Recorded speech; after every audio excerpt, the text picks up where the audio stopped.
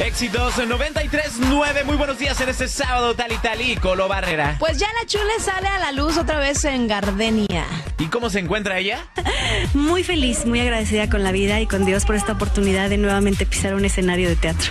Ha sido un goce y un privilegio y estoy más que nerviosa, te lo digo, estoy emocionada, estoy muy satisfecha, muy feliz porque uno cree a veces que no vas a hacer teatro pronto porque estás con los hijos y porque estás con la novela y porque viene otro proyecto, pero de pronto llegó esta historia y bueno, me encantó. Pues felicidades porque ha de haber muchas famosas que no las llaman ya después de que tienen bebés, ¿no?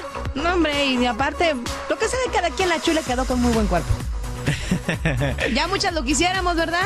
Oye, y bueno, pues ahora mm, le preguntaron que qué onda, ¿no? Que si le mueve el tapete todo lo que se dice Luis Miguel y que si está, que si no está, y checa lo que dice ella. Sabes que toda la energía la tengo ahorita canalizada en el, en la emoción, en el estreno, en Perfume de Gardenia y en Monterrey, que ya estrenamos este viernes y sábado. ¿Y Luis Miguel?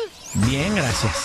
Te digo, ¿para qué pues quieren tapar el sol con un ojo? ¿O cómo es el asunto? No sé de qué hablas. No. ¿Para qué quieren tapar el sol con un... Ya, sí, perdónela, no ha dormido, ¿eh? Creo que está sufriendo de estresorexia. ¿Qué es eso tú? ¿Tú sabes qué es la estresorexia? Entérate a las 8 aquí en Éxitos 93.9.